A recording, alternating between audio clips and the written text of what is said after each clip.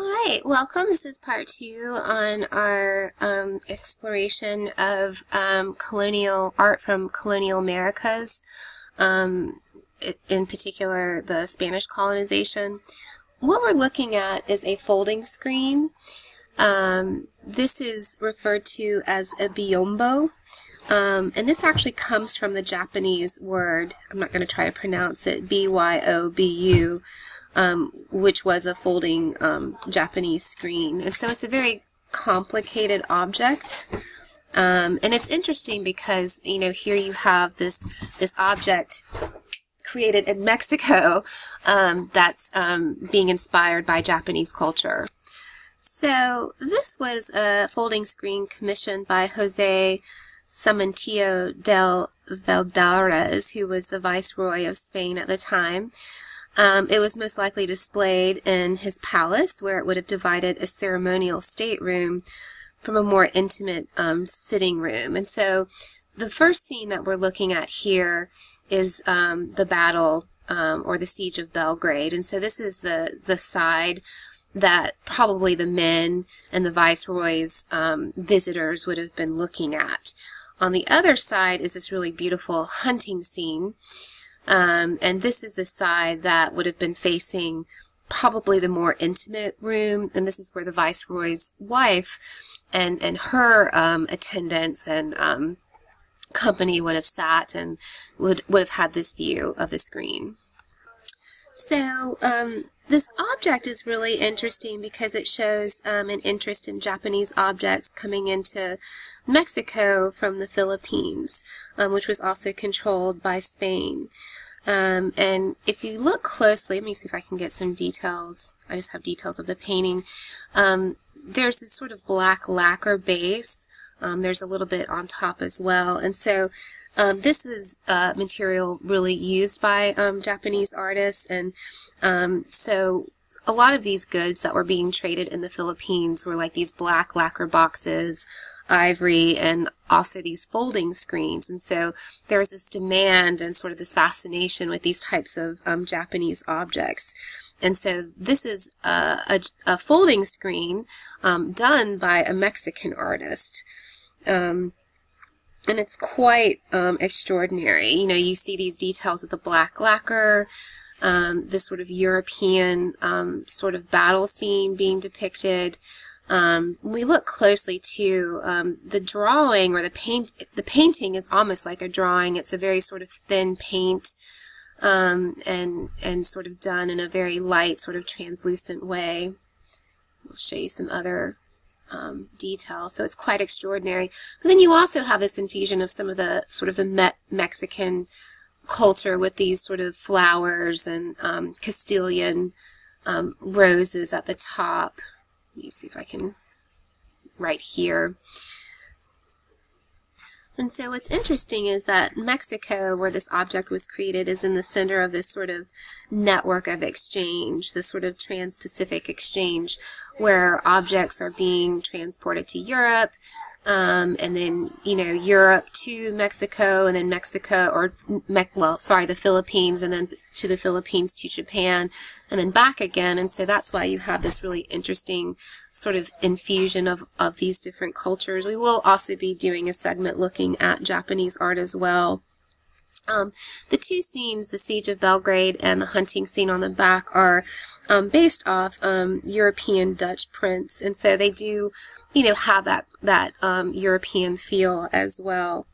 Um, what's also interesting too is that um, the first wife of the viceroy was a descendant of Moctezuma II, um, and and and so this um, and so there's this tradition of, um, you know, indigenous. His his wife was indigenous um, to the region, and so there's this tradition of this sort of older royal lineage that is still important, even though um, these people were conquered.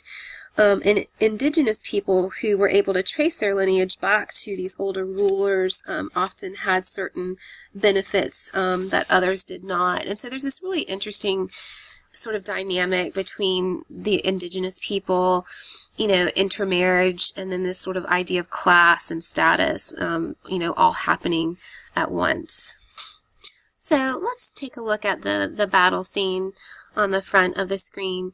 Again, this would have been viewed by the Viceroy. Um, and um, this would probably have served as really a sort of propaganda piece.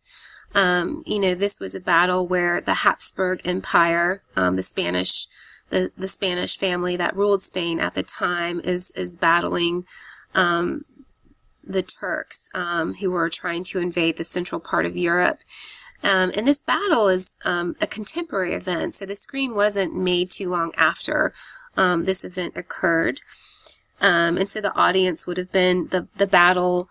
Um, the audience would have been for the viceroy and sort of important individuals um, that he would have had as company, and really an expression of his political power. What's also interesting about this piece, and it and it's hard to see. I'm going to see if we can see some in the in the details. These really sort of lighted areas where it seems like the light is sort of um, reflecting. This is actually shell inlay. And so this was an indigenous um, or local technique called enconchado, um, E-N-C-O-N-C-H-A-D-O-S.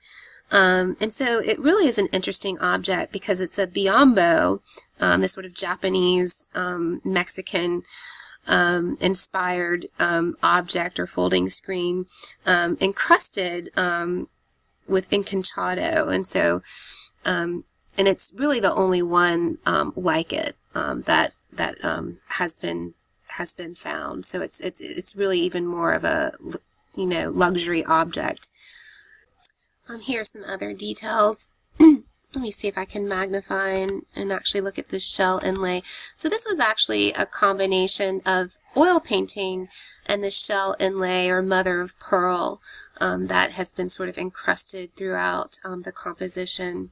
And it, it, really is quite beautiful. And if you can imagine this screen being in, in, in a room sort of lit by candlelight, it probably was um, quite beautiful and exquisite looking.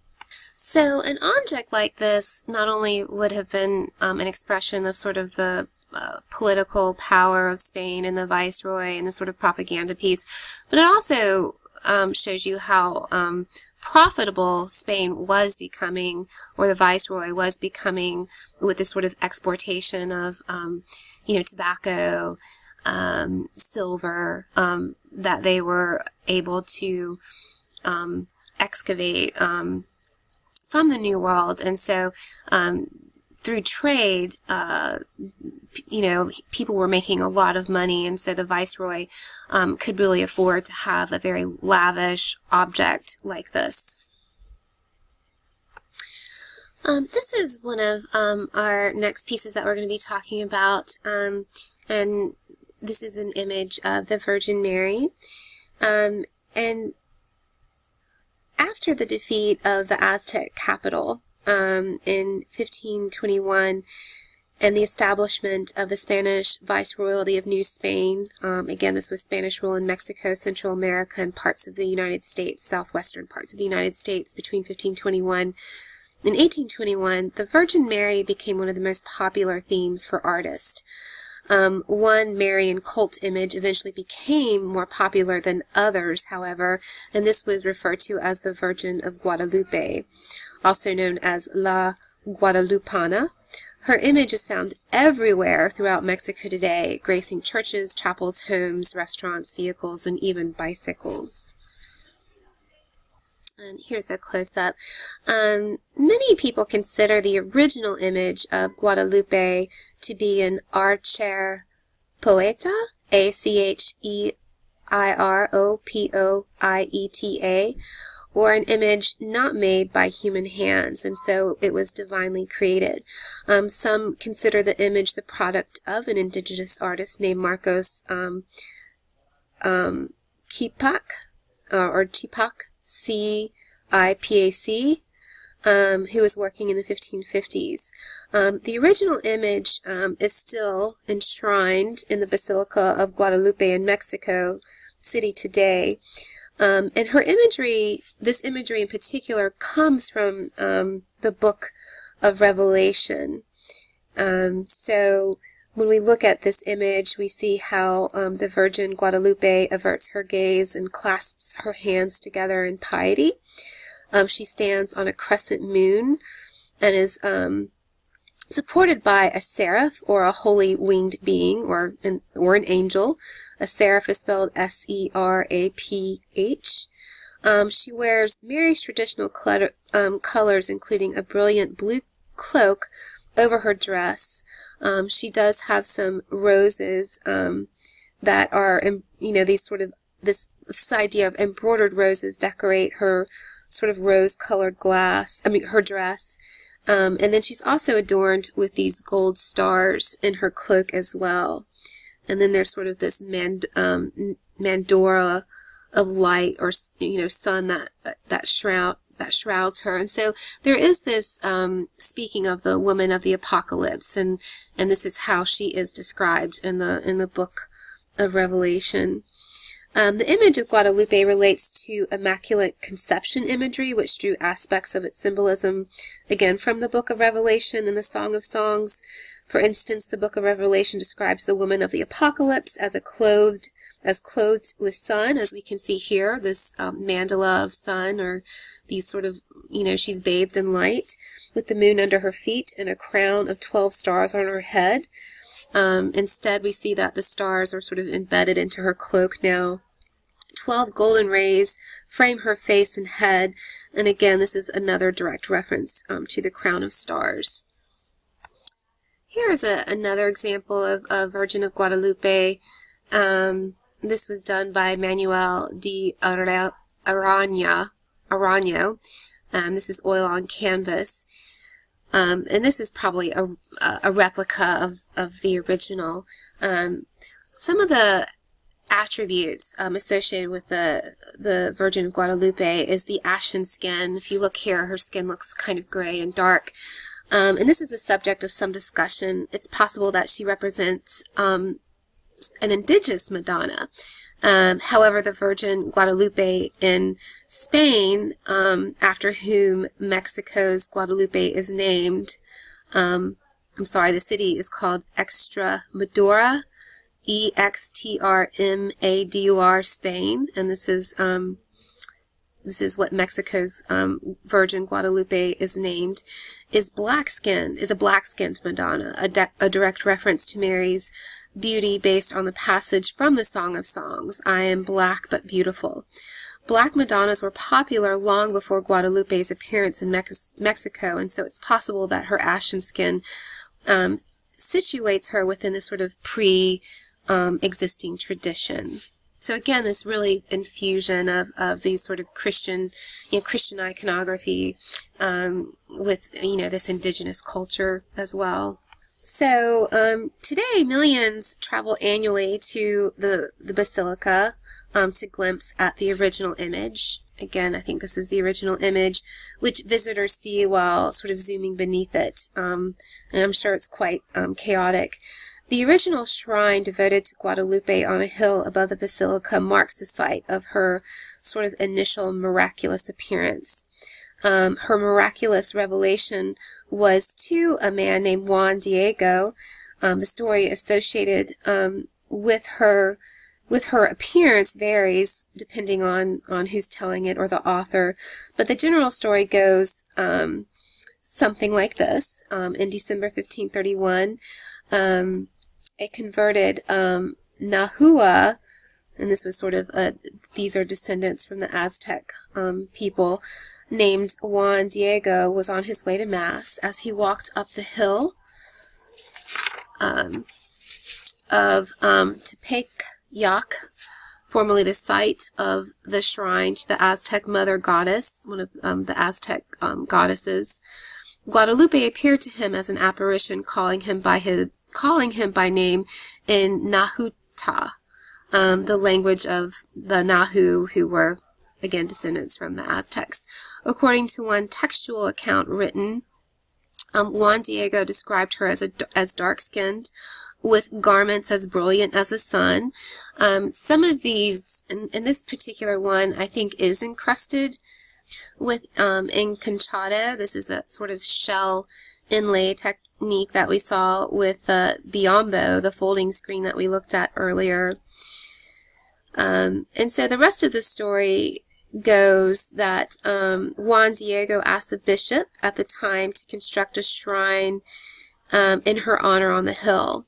After recounting the story, the bishop did not believe Juan Diego and requested proof of this miraculous appearance. After speaking again with Guadalupe on two other occasions, she informed Juan Diego to gather Castilian roses growing on the hillside out of season inside his tilma. A tilma is a is a type of native or indigenous cloak um, that people wore.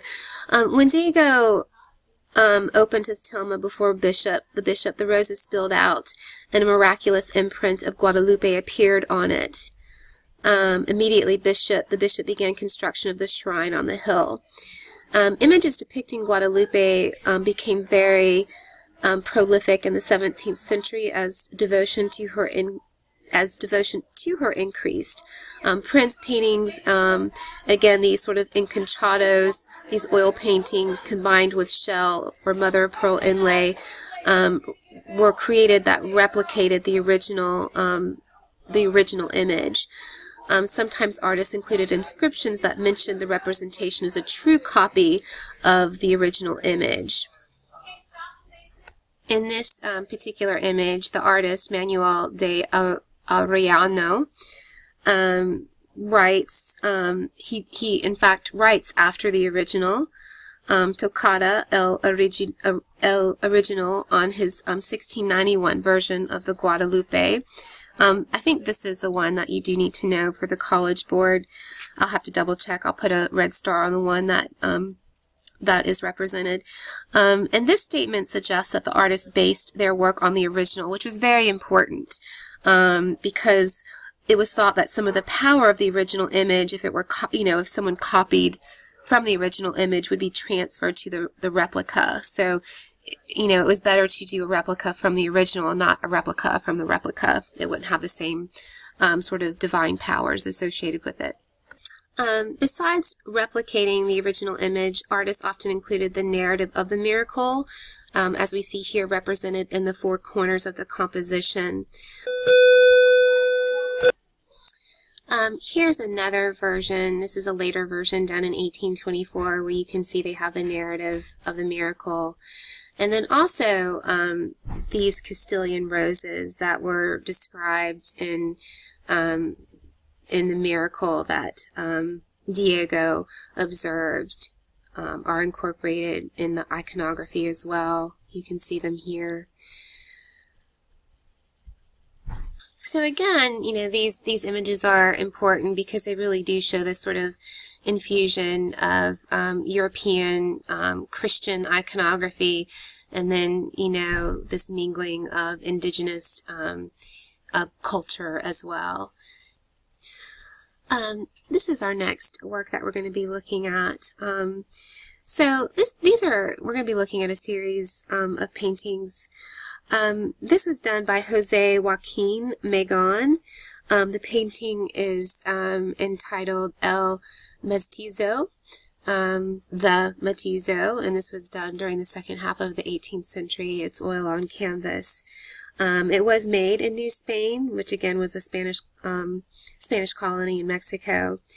And when we look at the painting, it displays a Spanish father and an indigenous mother with her son. And it belongs to a larger series of works that seek to document the interethnic mix- mixing occurring in New Spain, New Spain among Europeans uh, indigenous people, Africans, and existing mixed um, race population. Um, this genre of painting, known as pinturas de castas, um, or cast, cast paintings, attempts to capture reality, um, yet they um, are very fictional as well. Typically, casta paintings um, displayed a mother, father, and a child, sometimes two children, Um, this family model is possibly modeled on depictions of the Holy Family, showing the Virgin Mary, St. Joseph, and Christ as a child. Casta paintings are often labeled with a number and a textual inscription that documents the mixing that has occurred. The numbers and the textual inscriptions on casta paintings create this sort of racial taxonomy, akin to the sort of idea of science scientific taxonomy. In this way, casta paintings speak to Enlightenment um, concerns, specifically the notion that people can be rationally categorized, um, categorized based on their um, ethnic um, makeup and appearance. Um, usually, these paintings um, are, you know, are commonly produced in sets of 16, as you can see in this example here. Um, and then sometimes you occasionally see, they're usually on these little individual canvases, but occasionally you sometimes see these little vignettes on a single canvas. Um, costume, costumes, accoutrements, activities, um, setting, and um, flora and fauna. These are all um, aids that are used to um, racially label the individual within these works. So there are these sort of symbols that sort of try to racially identify um, the individual or, or, the model of the painting. Um, the first position of the casta series is always a Spanish man, and an elite um, indigenous woman. Um, again, we talked a little bit about this um, we looked at the biombo, the, the folding screen that we saw in Mexico. Remember the viceroys at the time, his wife was um, an indigenous woman who was able to trace her lineage back to um, Moctezuma II, and so she was sort of, um, you know, had other privileges that other um, indigenous people did not. Um, and so, also accompanying the couple um, is their offspring, a mestizo, M-E-S-T-I-Z-O, which denotes a person born of these two parents. As the casta series progresses and the mixing increases, some of the names used in the casta paintings to label people demonstrate this kind of social anxiety over this inter-ethnic mixing. Um, and so often some of these can be um, quite um, pejorative. Um, pejorative means this idea of expressing um, sort of disapproval. Um, here's a, a detail. Um, Casta paintings convey the perception that the more European you are, the closer to the top of the social and racial hierarchy you belong.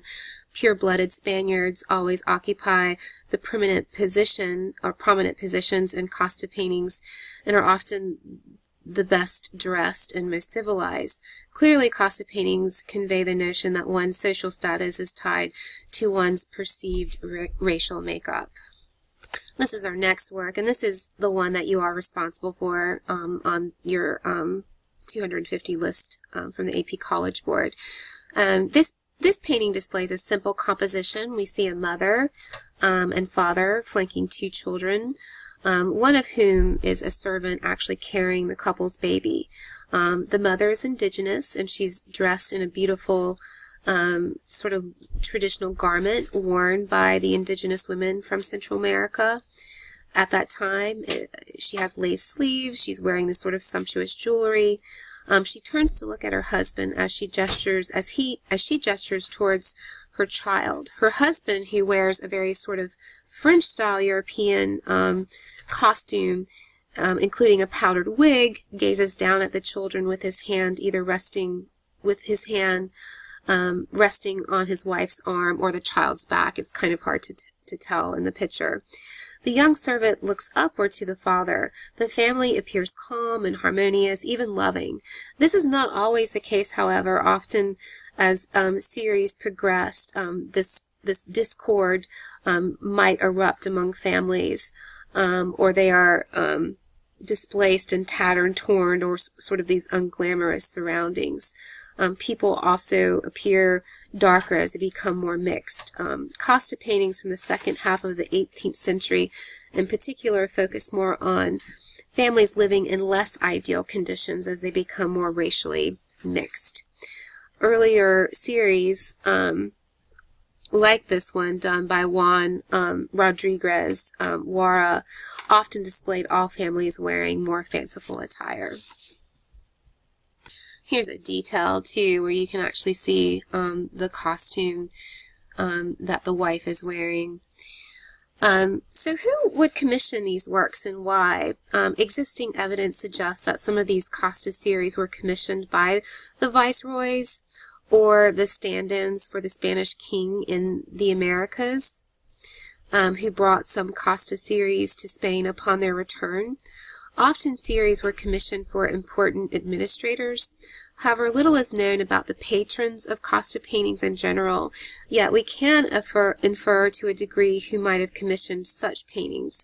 Because casta paintings reflect um, this sort of increasing social anxiety about inter-ethnic mixing, it is possible that the elite who claimed to be of pure blood and who likely found um, the, the delusion of pure um, bloodness um, alarming um, were among these individuals who commissioned um, casta paintings. All right, so this concludes um, our um, video on colonial America. We'll be picking up um, in our next segment with later 18th century and early 19th century art. As usual, please go back and look at the videos from the Khan Academy that I post along um, with your PowerPoint so you can get a better understanding of some of these works of art.